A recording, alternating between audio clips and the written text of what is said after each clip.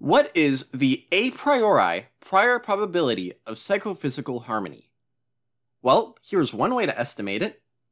First, we look at how many different a priori epistemically possible psychophysical laws there are.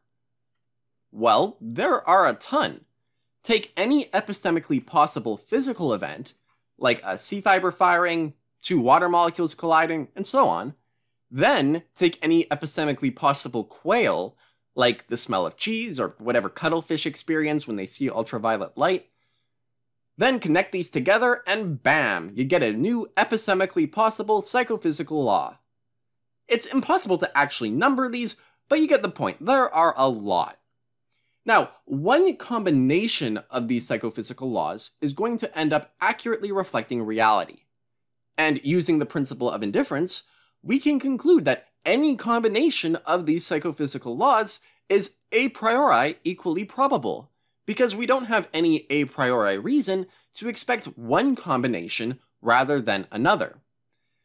Since there are so many psychophysical laws, there is an unimaginably large number of combinations of psychophysical laws.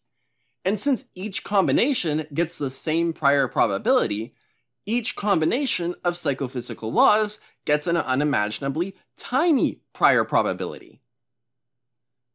Now, psychophysical harmony occurs when you get a specific kind of combination of psychophysical laws.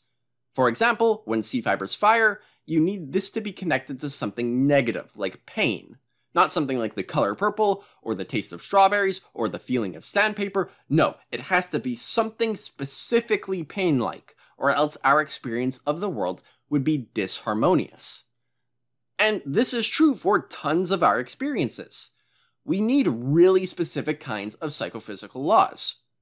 So we need to get a very specific kind of combination of psychophysical laws out of the vast number of different combinations.